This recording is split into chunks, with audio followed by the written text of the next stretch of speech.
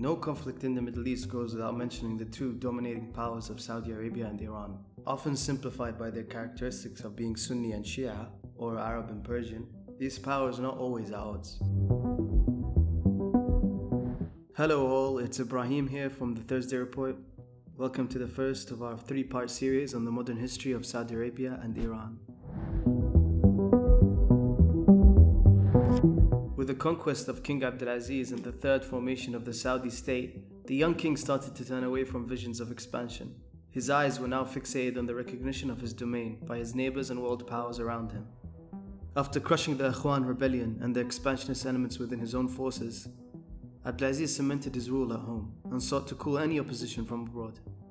Meanwhile, across the Gulf, the ruling Qajar dynasty, who ruled Persia for 140 years, experienced great instability on the back of military defeats to the British and the Russians, effectively splitting the empire into two spheres of influence, one belonging to the Russians and the other belonging to the British.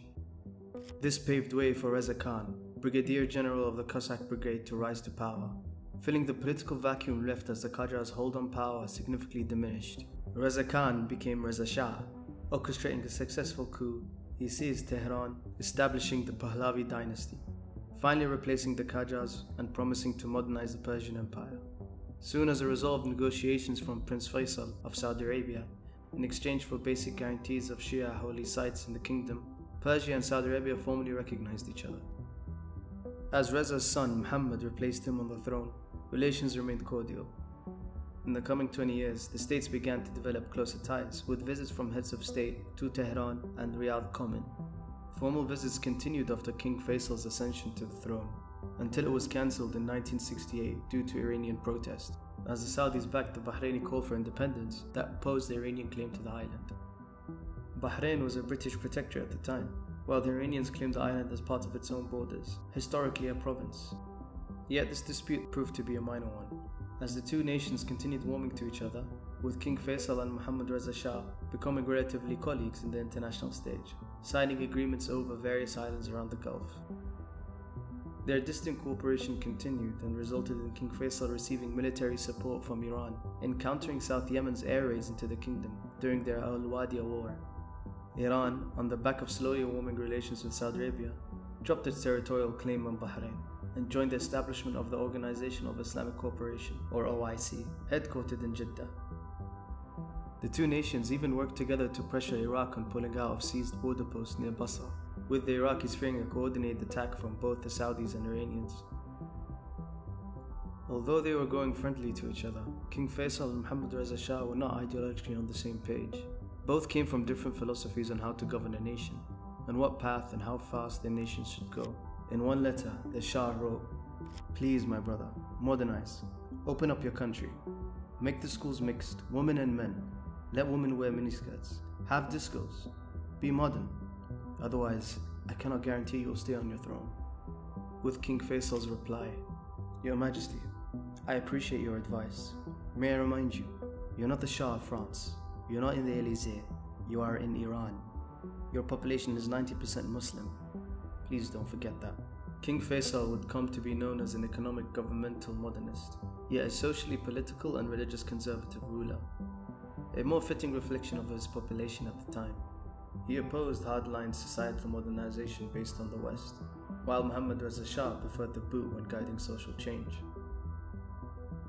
Economically, in the 70s, Saudi Arabia was further cementing its place in the world of oil, leading the oil embargo of 1973 and continuing to dominate the oil scene. Meanwhile, Iran was rising in relative comparison to South Korea and Taiwan, with economists predicting Iran's ascent to the first world coming. Yet, unlike Saudi Arabia, wider Iranian society wasn't as stable. The Shah, deposed once by a democratic government of Mossadegh, returned again in a coup backed by the US and the British. Due to his reforms and policies, he again found himself losing touch with the larger working and conservative classes. The Shah only seemed to enjoy concrete support from the relatively socially liberal elite around the country, while communist and Islamist groups continued to haunt him. Assassination attempts were made throughout his reign, and unlike King Faisal, he never succumbed to one. As the Shah continued pushing reforms including women's suffrage, greater rights for minority religions, amongst many, he alienated himself from the Shia religious clergy, who had great influence in society from towns to villages. In a country where the Shia clergy held significant power and lobby historically, the Shah enacted reforms that sought to break up their landholdings. Opposition to the Shah grew public and obvious, with the future supreme leader Ayatollah Khomeini, a largely influential clerk at the time, criticizing his reforms harshly.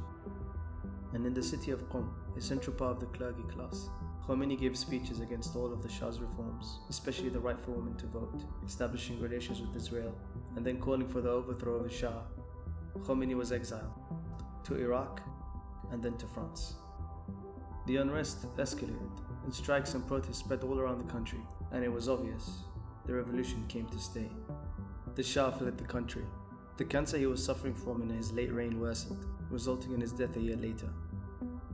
Shapur Bakhtiar, the Shah's late prime minister and vocal opponent, dissolved the Shah's repressive secret police, Savak, and freed all political prisoners, and allowed for Khomeini's return. Factions around Iran began wrestling for control from the newspapers to the streets. The political system and the revolution was being made, and as the ashes settled on the complex revolution, Bakhtiar and others were politically outmaneuvered. As Khomeini returned from exile, he came victorious. Thank you for tuning in. I hope you all enjoyed our first video on the relationship between Saudi Arabia and Iran.